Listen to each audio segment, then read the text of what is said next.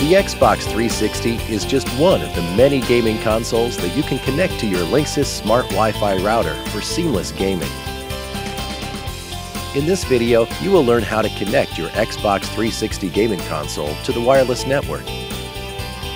Before we begin, here are some of the basic requirements.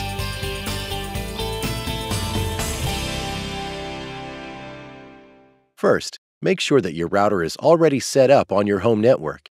If you are not sure on how to do this, check out our other videos or the FAQ section for instructions. Second, make sure you have the router's wireless network name, or SSID, and passphrase. You can obtain this information by logging into your router's web-based setup page and checking the wireless option. If you have a Linksys Smart Wi-Fi account, go to linksysSmartWiFi.com enter your login details, and click the Wireless tool to get the wireless settings. Third, set up your Xbox 360 console.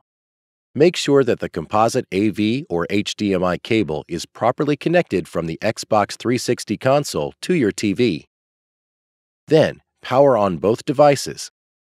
Also, make sure that your controller is connected to your device either wired or wirelessly. Finally, ensure that your Xbox 360 console has built-in wireless capability.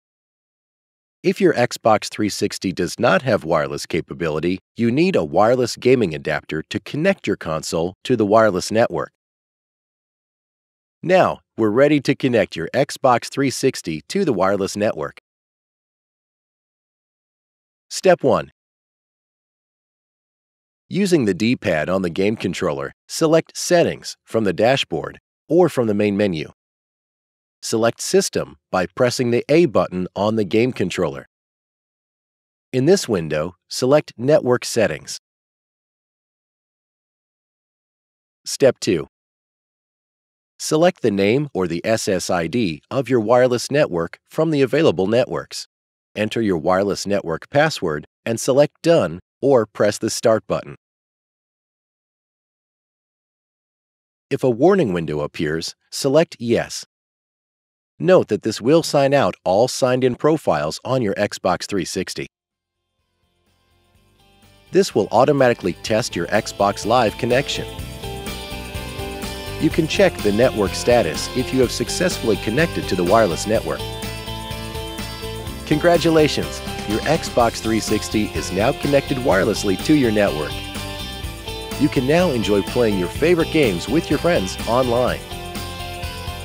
For more tips and tricks on setting up your network, check out our other videos.